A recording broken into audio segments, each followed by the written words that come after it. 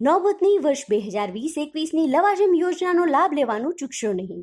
લવાજમ સ્વીકારવાનું હજુ ચાલુ જ છે.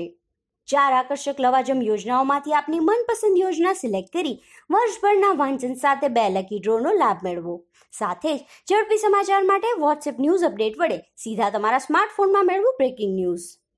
વર્ષ બે હજાર ઓગણીસ વીસની લવાજમ યોજનાનો મેગા ડ્રો તથા વર્ષ બે હજાર વીસ એકવીસનો મિની ડ્રો ટૂંક સમયમાં જ યોજાશે.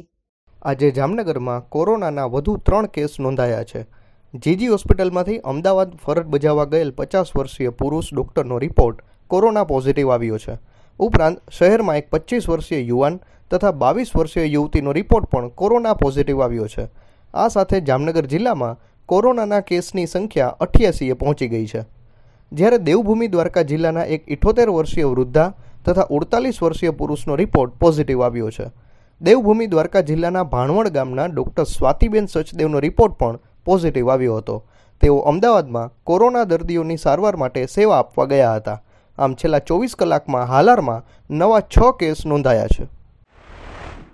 છેલ્લા દસ દિવસમાં પેટ્રોલ ડીઝલના ભાવમાં એક લીટરે સાત રૂપિયાથી વધુનો ભાવ વધારો થયો છે.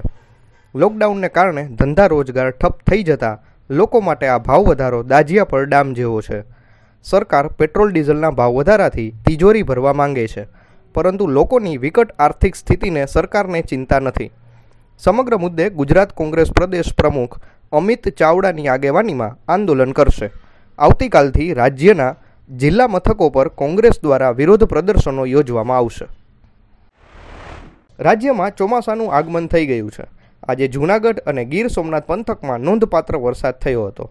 રાજ્યમાં વરસાદી વાતાવરણ જોવા મળી રહ્યું છે. હવામાન ખાતાએ આગામી ત્રણ દિવસમાં રાજ્યમાં ભારે વરસાદની આગાહી કરી છે.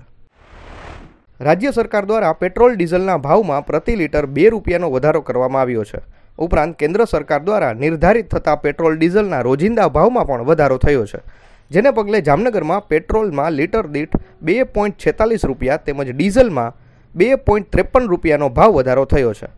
પેટ્રોલ ડીઝલમાં એક જ દિવસમાં અઢી રૂપિયાના ભાવ વધારાથી લોકોમાં આક્રોશ ફેલાયો છે.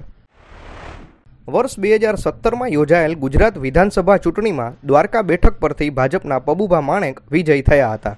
પરંતુ તેમના ઉમેદવારી ફોર્મમાં ભૂલ હોવાના પગલે હાઈકોર્ટે પાછળથી તેમને ધારાસભ્ય પદે ગેરલાયક ઠેરવ્યા હતા. આ અંગેની કાનૂની પ્રક્રિયા હાલ ચાલી રહી છે. દરમિયાન અઢાર જૂને યોજાવાની રાજ્યસભાની ચૂંટણીમાં મતદાનની મંજૂરી માટે પબુભાએ સુપ્રીમ કોર્ટના દ્વાર ખટખટાવ્યા હતા. પરંતુ સુપ્રીમ કોર્ટે પબુભાને રાજ્યસભાની ચૂંટણીમાં મતદાન કરવાની મંજૂરી ન આપતા ભાજપને ફટકો લાગ્યો છે.